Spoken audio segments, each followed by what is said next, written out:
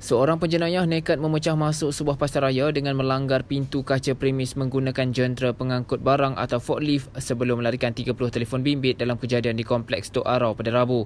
Ketua Polis Daerah Arau, Superintenden Nanda Ma'ruf berkata suspek mengumpir rak kaca kedai itu lalu mencuri 25 telefon bimbit.